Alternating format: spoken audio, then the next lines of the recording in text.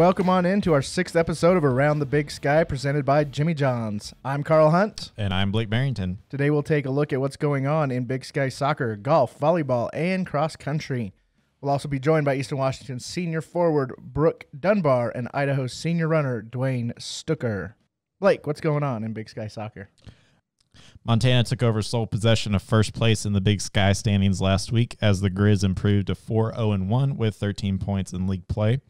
Montana defeated Northern Arizona 1 0 before playing Southern Utah to a scoreless draw. Northern Colorado moved to second at 3 1 2 with 11 points after a 1 1 week on the road with a 3 1 win over Southern Utah and a 2 0 loss to Northern Arizona. Eastern Washington posted two shutouts on the week with a 3 0 victory over Idaho State and a 1 0 blanking of Weber State. With the two wins, the Eagles improved to 3 0 1 in Big Sky play with 10 points. Now tied for the second longest unbeaten streak in league history, Sacramento State has not lost in 13 matches dating back to August 23rd. The Hornets defeated Portland State 2 1 in their only match of the week. Those two teams are currently tied for fourth with nine points. Montana's Claire Howard and Eastern Washington's Kelsey Winston were named co defensive players of the week after both recorded two shutouts last weekend. Big Sky Offensive Player of the Week honors went to Eastern Washington's Brooke Dunbar, who scored two goals in the Eagles' 3 0 victory over Idaho State on Friday. Brooke is here on our show today. Brooke, how are you doing? I'm doing great. How are you? I'm doing well, thanks. Uh, so your team's on a four-match unbeaten streak to begin conference play. Uh, seven goals for you all in the last three matches. What's worked offensively for you? Well, we changed our shape a little bit because in the beginning of the season it wasn't really working, and I think we've kind of changed our mindset as we changed our shape to more attacking, but also having a little bit more cover in that midfield. Mm-hmm. And it's obviously worked for us, and we're able to get the goals. And um, Kelsey's doing great with the shutout, so I think just going into practice with the right mindset is really helping us. Uh, so you scored two goals last week against Idaho State, your first multiple goal performance of your career. Uh, currently ranked second on the team in scoring. Uh, what was your focus in the off season, just preparing for your senior year? Um, yeah, the off season we got here like early to start training, and I just wanted to make my senior year, you know, the best one. Um, end it with like the best stats, and I want to, you know, win league and go to the tournament this year. So just every day in training, having that mindset and trying to be that leader and example for um, the younger people on the team. And so you've had a lot of success in the postseason, uh, freshman sophomore year, winning uh, the Big Sky tournament. What was the focus, uh, or I guess the the goal for the team coming into your senior year? So our goal, we kind of wanted to focus on like each game and like have some concrete goals for each game. So whether it be a shutout, no losses at home, or you know we um, end each half like winning the half or up one or two goals. So we kind of like to take it by each game, but for sure the goals this year, my senior year, were win conference and go to the tournament. Uh, so you're a California native out of Santa Rosa. What drew you to Eastern Washington? Um, well, I kind of want to get out of California. I like the idea of winter, as crazy as that sounds. um, and just I like the aspect of the family here at Eastern, the whole athletic community. The people here were amazing, and I like the idea of it being like a fairly new program, and I can come in um, freshman year and you know make that difference mm-hmm. and continue it on to my senior year. So you were named Big Sky Offensive Player of the Week this week, um, along with one of your high school teammates, Claire Howard at Montana. She was the co-defensive Player of the Week. Uh, what's it like facing off against her? yeah, I know she's been my best friend since kindergarten, so it's crazy. Um, super proud of her for getting that, and um, facing her will be, you know, a challenge. She's super good in the air, and she has a strong back line. But you know, going into it, I think we're ready for Montana, and I hope to score a goal on her. so, what's been your favorite memory so far playing for the Eagles? Um, I think my favorite memory. I mean, it changes um, each year, but for sure, my freshman year, um, when we went to the um, Big Sky tournament. We won in uh, PKs, and then we go to the NCAA tournament the first time, which is super exciting. And then again, sophomore year, we play USC again in the tournament, NCAA tournament. And um, although we lost, we were able to take the you know reigning champs into double overtime. So that was super exciting. So I know you're a college athlete. You don't get much free time, but what do you like to do when you're not on the pitch or studying? Um, I like to sleep a lot, but um, I like to hang out with my friends, and I really um, like to take advantage of the Pacific Northwest. I've been trying to go on hikes and explore Washington while I'm still here. What's one thing your teammates would be surprised to know about you? Hmm. That's a hard one. question. um, I think they would be surprised to know that. Uh, hmm. I have a huge fear of public speaking, actually, okay. which is crazy because always public speaking and you know talking and whatnot. But I'm actually it makes me very nervous. I can relate. Well, Brooke, we really appreciate you joining us on the show today. Best of luck the rest of the season. Thank you. Thank you for having me. You bet. That's Eastern Washington senior forward Brooke Dunbar. In action this week, Montana and Northern Colorado host Sacramento State and Portland State in a battle between four of the top five teams in the league. Eastern Washington and Idaho welcome in Southern Utah and Northern Arizona, while Weber State hosts Idaho State. The Big Sky Soccer Championship is November 6th through the 10th in Greeley, Colorado, at Northern Colorado's Jackson Stadium. The top six teams in the standings at the end of the regular season will qualify for the conference tournament. To stay up to date with the Big Sky Conference, follow us on Facebook by searching Big Sky Conference and at Big Sky Conf on Twitter, Instagram, and Snapchat. Dinner's great. It's one of your top three favorite meals. You just don't want to have to make it. Well, with Jimmy John's, you don't have to. Whether you live in a sandwich delivery zone or head into the store, you can always get a freaky fresh sandwich. Click to order at jimmyjohns.com. Now let's take a look at what's going on in Big Sky Golf. The Eastern Washington women claimed a sixth place finish at Seattle's Pat Lesser Harbottle Invitational. The Eagles were led by Madeline Arduzer and Stephanie Heimler, who both shot a three over par 219. Heimler was named the Big Sky Women's Golfer of the Week as the freshman recorded a low round of 70 at the tournament. This week in Northern Arizona is the lone team in action on the women's side as the Lumberjacks compete in the Pat Bradley Invitational in Lakewood Ranch, Florida. On the men's side, Weber State recorded a fifth place finish at the Bill Cullum Invitational in California. Weber State senior Jace Frampton was to have the Big Sky men's golf for the week, tying for 16th with a 400 par 212 with a low round of 69.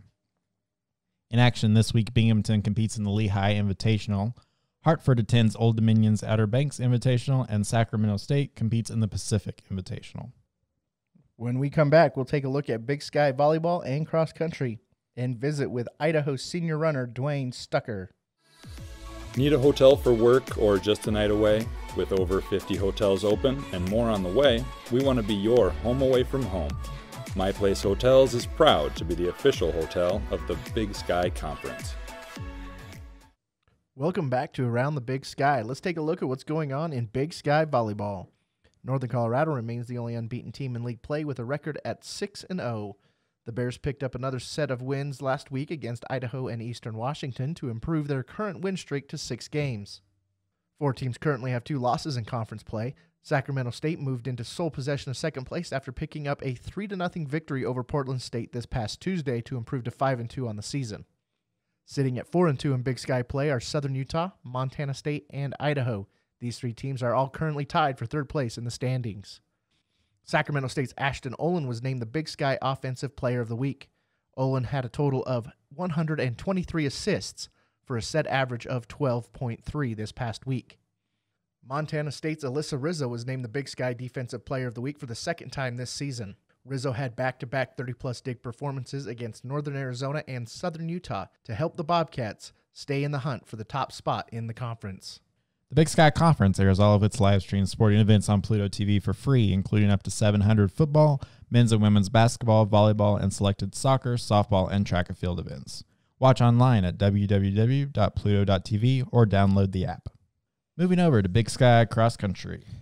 Four Big Sky teams won titles over the weekend. The Idaho State men won Southern Utah's Color Country Invitational. On the women's side, both Idaho and Southern Utah captured first place finishes, with the Vandals winning the Inland Empire Championships in nearby Lewiston. Idaho swept the Big Sky Athlete of the Week awards. Freshman Kelsey Swenson finished second with a 5K time of 17 minutes and 27 seconds. Senior Dwain Stucker timed 23 minutes and 46 seconds to finish sixth in the 8K race to earn Athlete of the Week honors for the second time this season. Dwain jo- now joins us on the show. Dwain, how are you doing today? I'm doing pretty good and excited to be on here. So this is the second time that you've won Player of the Week uh, or Athlete of the Week award. What were some of your goals heading into this season? Um, well, this is my uh, last uh, cross country season, so my goal is to go out with a bang. Really wanted to give it my all and see what I could do. What has been uh, the major difference in your training uh, this year compared to maybe like your freshman year? Well, obviously Travis has been uh, pushing the same like routine, same workouts, but uh, really I think it's just um, the way I've been uh, looking at it, like mentality wise, knowing that it's like my last shot to really like give it my all. It, uh, it definitely uh, helps color my perspective. Now you also run track and field um, in the distance races. Do you prefer running outside or inside? Uh, no question, outside. I'm a distance runner. what is it Give me about some running? dirt trails.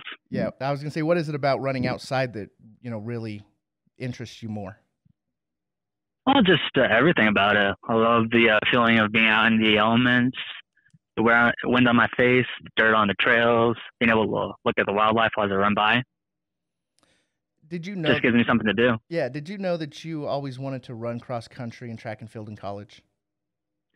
Um, well, it just kind of naturally happened. I just happened to be good in uh, high school, and I knew I wanted to go to college. So if I could uh, get on the team, that was always kind of my plan. So how did you get involved in running cross country and track and field? Like when did it, when did it start for you? Um, back in uh, middle school, technically even before that, I was always a kid who was just loved running places. Too much energy. Did a couple of, like elementary school races. Those were fun. But um, in middle school, I just uh, decided, hey, I'd go for it. Uh, I did a little bit of uh, field events, a little bit of uh, sprint events, and eventually they just wouldn't let me do anything besides distance running. Uh, you chose to stay in state for college. You're originally from Meridian, Idaho. Uh, what made you Mhm. choose Idaho, and why did you choose to stay in state? Well, I was I'd looked at a, a bunch of different universities. Uh, I'm an engineering major, and uh, it just so happened that Idaho had exactly the program I wanted, and uh, they also had a pretty good team, and they were offering me a pretty good scholarship. There's really no reason to say no. What's your favorite thing about college? Oh, that's an interesting question. I love the uh, just uh, changing uh, just the way uh, all the classes work. Really feels like I'm actually learning something. I definitely love the uh, teammates I have. Get a whole lot of different characters, and they're all so much fun to hang out with. Definitely gonna miss them when they're gone. So, what do you and your teammates do when you guys aren't running? How do you guys spend your free time? Um, when we're not running and we're not studying for classes, uh, every once in a while we'll have like team dinners or team events where we all just get together and uh, build that camaraderie. That's really important on a collegiate team. So, you also mentioned that your major is in engineering. What attracted you to that concentration, and what do you want to do with it when you graduate? Well, I've always just uh, loved tearing stuff apart and putting it back together. Uh, part of it's my dad's fault. He's a mechanic, and uh, kind of rubbed off on me. But uh, I could totally see myself uh, joining some engineering firm, uh, getting myself planted in the, that field, and uh, see where it goes from there. All right. Well, Dwain, thanks for taking some time to join us today, uh, and good luck the rest Thank of the you. season. Ten schools are in action this weekend for their final meets before the upcoming Big Sky Championships.